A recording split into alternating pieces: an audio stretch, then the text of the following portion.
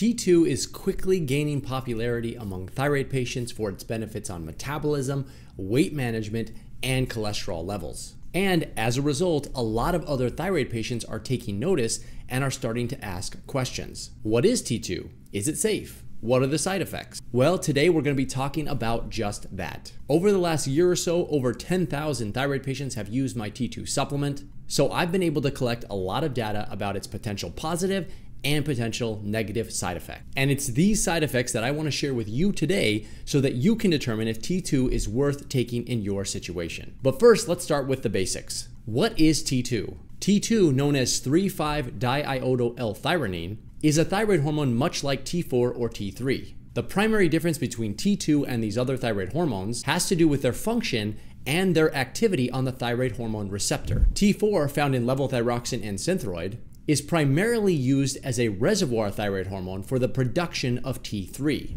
T3, found in cytomel and liothyronine, is the strongest thyroid hormone and has the most activity on the thyroid hormone receptor. And T2, which is found in over the counter supplements, seems to enhance the effect of T3 thyroid hormone while also exerting some direct action on the thyroid hormone receptor, albeit much weaker than T3. Each thyroid hormone does something a little bit different, which is why I strongly believe that if you are a patient with hypothyroidism, you should try to take all three. While this may be the first time you're hearing about T2, it's not a new thyroid hormone and it's been around for decades. Researchers and scientists have known about T2 for a long time. And many of you listening to this right now have probably taken T2 without even realizing it. This is because T2 is found in small amounts in thyroid medications like Armour Thyroid and other natural desiccated thyroid medications. It just so happens that over the last 10 to 15 years, T2 has been the subject of intense research for its benefits on weight loss and metabolism, where it's being studied as a potential weight loss treatment or obesity treatment. As a result, thyroid patients who still suffer from hypothyroid symptoms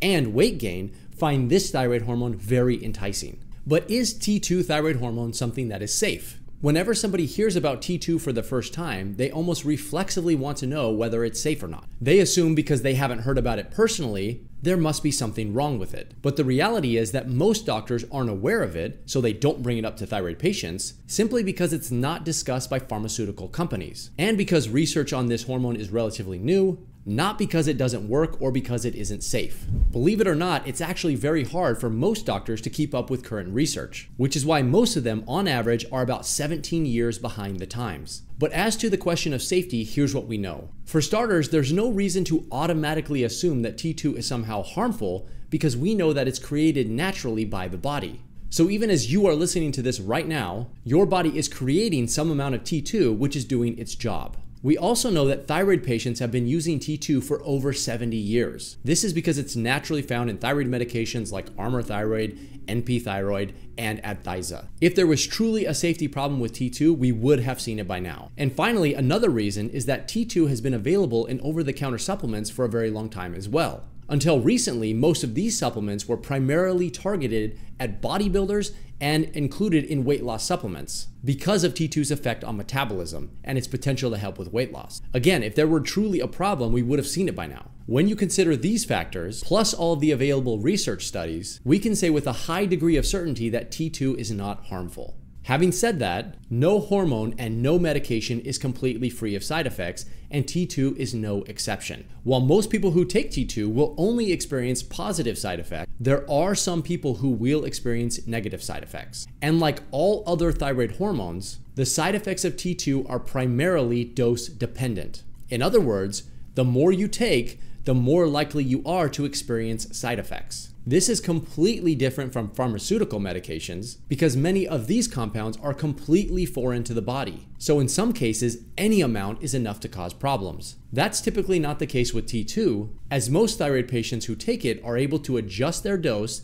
such that they only experience positive side effects and not any negative ones. Based on my experience of helping over 10,000 thyroid patients use T2, here's what I found. Roughly 70 to 75% of people who take it will see a positive benefit. About 10 to 15% or so will see no discernible benefit at all, and about 10 to 15% will experience some mild negative symptom. As far as positive symptoms go, here's what most thyroid patients report. Improved body temperature, easier weight loss, more energy, a sensation of feeling more balanced, and better thyroid symptom control overall.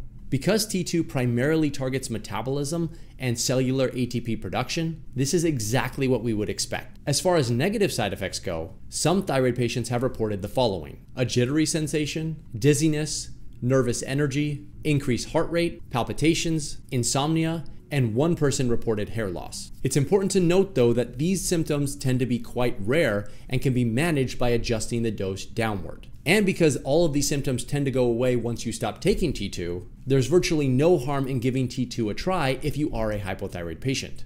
So, what's a safe dose? Since most side effects, both positive and negative, are dose dependent, it's important to talk about how much should be used. And to do that, we have to use a combination of anecdotal experience as well as some information available from research studies. Based on these two factors, we know that a safe dose is anything less than about 300 micrograms taken every day. Problems start to arise when doses exceed 300 micrograms per day, and serious problems start to arise when dosing exceeds 800 micrograms per day. Fortunately, it's very difficult to get to these doses because most supplements are dosed in the 100 microgram per serving range.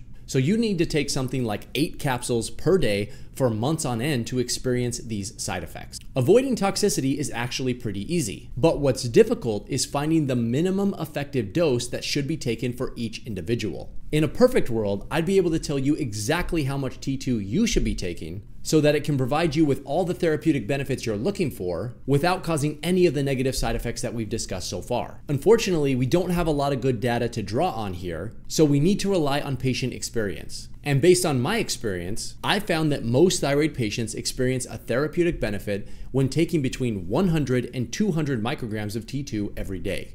There are definitely some thyroid patients out there who are very sensitive to thyroid hormones, and these thyroid patients can probably get by with T2 dosing less than 25 micrograms per day. If you're a sensitive person listening to this right now, then you probably already know who you are, and in that case, you may want to automatically start with less T2. Right now, and based on available data, I would recommend staying away from the 300 microgram per day dosing simply because it's too close to that safety cutoff of 300 micrograms that I mentioned earlier. So, should you give T2 a try?